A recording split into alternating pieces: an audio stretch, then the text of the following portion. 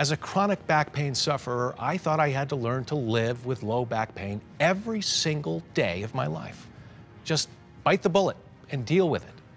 But with a back bubble, I finally found a way of managing my pain and keeping my back fit.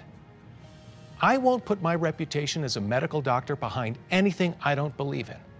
But the back bubble I fully endorse. No tricks or gimmicks, just sound anatomical science. The results speak for themselves.